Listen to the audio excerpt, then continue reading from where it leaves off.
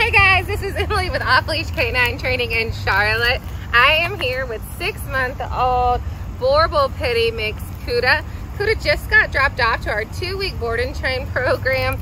The issues at home are pretty much puppy centered. He really struggles with impulse control, especially when new people come to the house.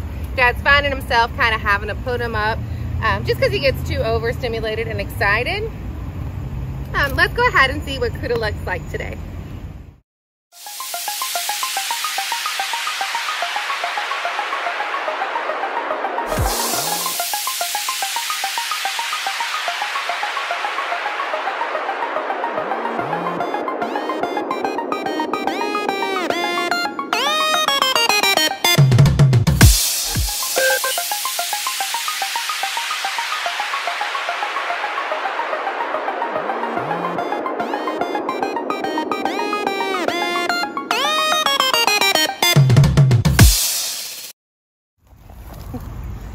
All right, guys, this is what Kuda looks like on day one. Stay tuned to see his progress in 14 days.